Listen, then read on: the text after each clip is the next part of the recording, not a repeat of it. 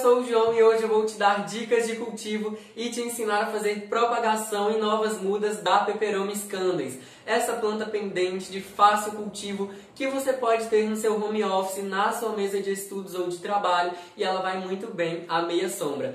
Fica comigo até o final desse vídeo, já deixe seu like, inscreva-se no canal e ative o sininho para o YouTube te avisar quando tiver vídeo novo. A peperoma é originária da América do Sul, ela aprecia o clima tropical, tem essas folhas em formato de coração e, por ser variegada, tem as bordas das folhas na cor branca. Também, por ser variegada, nunca uma folha é igual à outra, ela sempre tem estampas diferentes e isso faz com que essa planta seja realmente muito bela e muito única. Essa é uma planta muito fácil de ser cultivada, ela vai bem à meia sombra, ela realmente não precisa de sol direto para se desenvolver.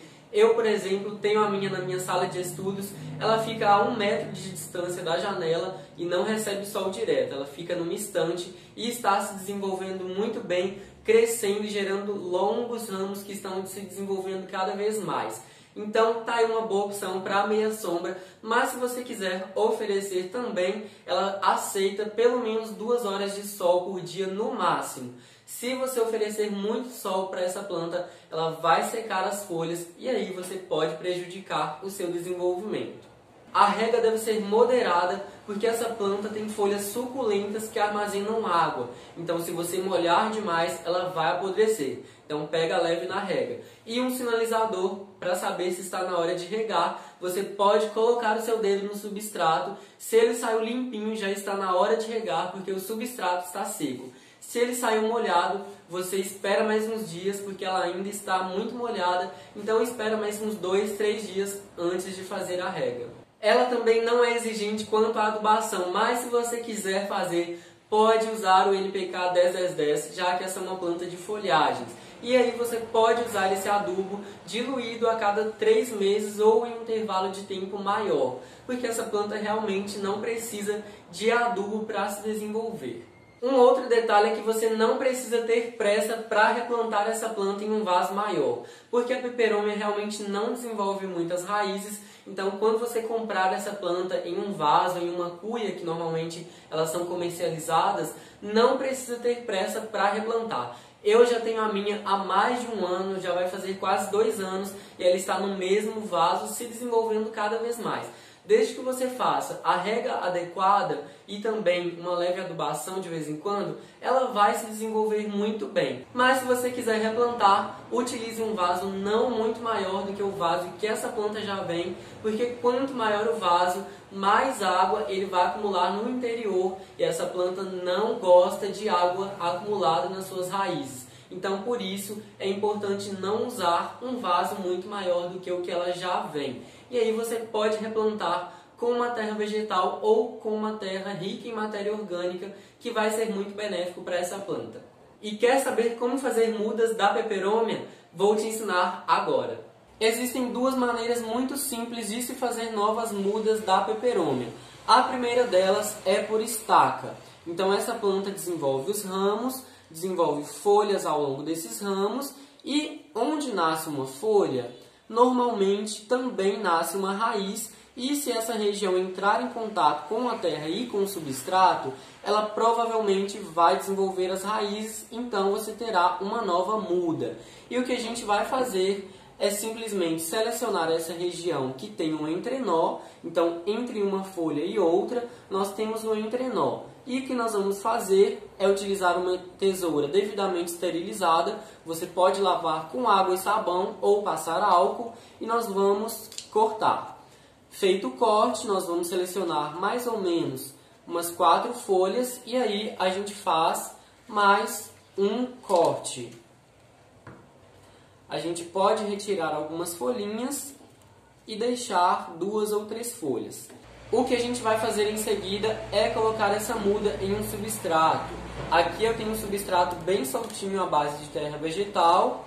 Então a gente vai colocar esse galinho nesse substrato e ele vai tombar, não tem problema, ele só precisa ficar firme para não cair, mas ele vai tombar porque essa planta tem a característica de ser pendente, então isso vai acontecer.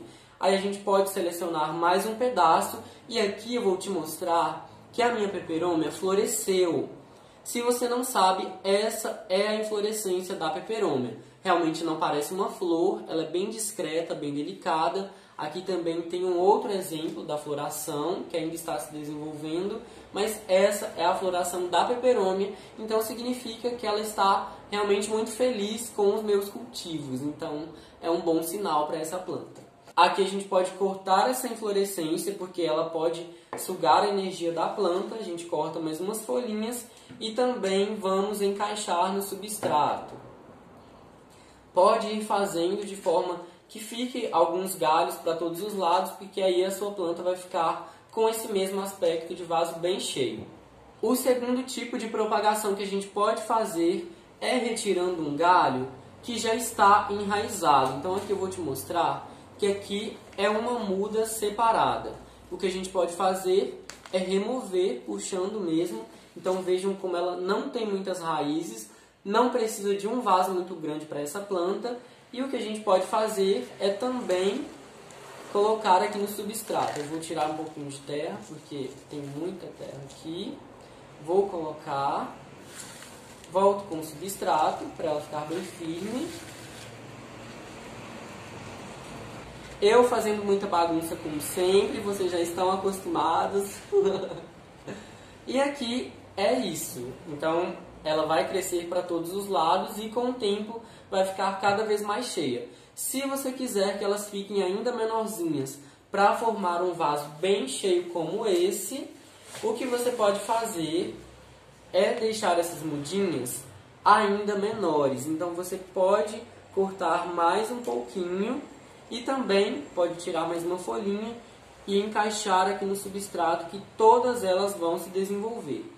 Pode cortar mais um pouquinho e vai colocando e fazendo novas mudas. Assim você vai ter um novo vaso de peperômia bem elegante. E assim a gente finaliza a nossa propagação e só falta regar a nossa planta. Você vai molhar todo esse substrato e mantê-lo sempre úmido. Também é importante que você deixe essas novas mudinhas em um local muito bem iluminado, sem muita incidência de luz solar. Então, esse processo precisa ser à meia sombra e com muita luminosidade, mas sem sol direto, para essas mudas todas se desenvolverem. Pode ficar tranquilo porque a peperômia realmente é muito fácil de propagar. Ela vai gerar novas mudas, novos ramos e vai se desenvolver com poucos dias e poucas semanas. Então essa é uma planta realmente muito fácil de se fazer propagação.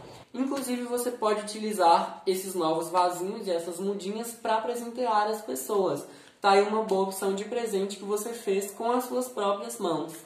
E esse foi o vídeo de hoje, eu espero que você tenha gostado. Se você gostou, deixe seu like, inscreva-se no canal, ative o sininho para receber as notificações e compartilhe esse vídeo com outras pessoas.